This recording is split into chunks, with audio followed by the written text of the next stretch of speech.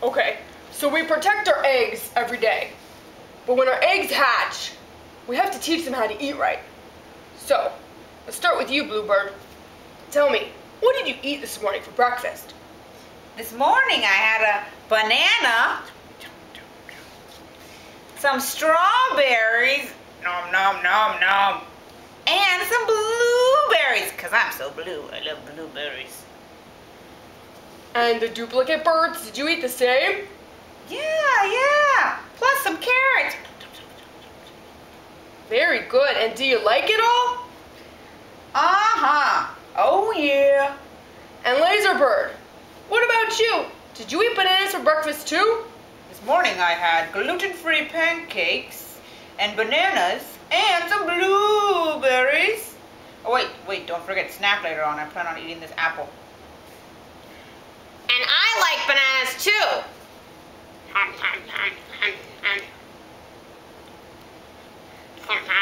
I also like to eat apples. Hey, wait, no! Very good, very good. Now, Blackbird, what are you going to eat for lunch? Well, I'm gonna eat some salad. I like spinach leaves, and I like to eat tomatoes, and Redbird, come on up here. I also like to eat with Redbird. We like to eat as pals, and we like red peppers. This is a red pepper, even though it looks like a tomato. And then we have cucumbers. We love cucumbers. And up here, what is that?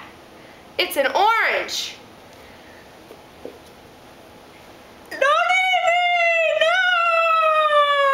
Nom, nom, nom, nom, nom, nom, nom. We love oranges. Nom, nom, Apple! Apple! No!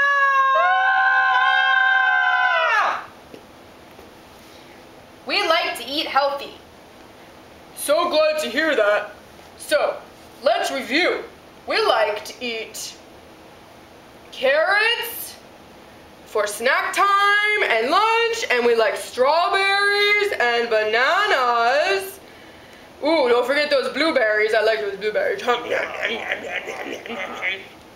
And we like red peppers, which They look like tomatoes. They look like tomatoes, right? And tomatoes. The white bird loves tomatoes. He'll eat the whole salad. Well, I think that was good. Good for today. Maybe we'll talk about some more foods next time. Yeah, you